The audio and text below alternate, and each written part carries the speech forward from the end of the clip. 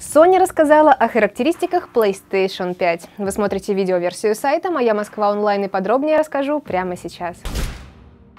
Как сообщает РИА Новости, на онлайн-презентации назвали особенности и отличия от более старых моделей консоли. По информации издания, новая PlayStation получит 8-ядерный процессор AMD Zen 2 с частотой 3,5 ГГц. Уточняется, что девайс оснастят видеокартой RDNA 2 от AMD мощностью 10,3 терафлопса. По словам представителей компании, она получит 16 ГБ оперативной памяти GDDR6. Согласно данным, на модель будет установлен SSD-накопитель с 825 ГБ памяти, а также дисковод 4К Ultra HD Blu-ray.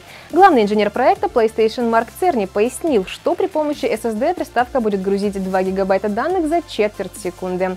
Он рассказал, что консоль поддерживает режим обратной совместимости, поэтому на ней можно запустить большую часть игр для предыдущих поколений PlayStation. На этом у меня пока все. Больше свежих новостей на сайте mymsk.online. До скорого!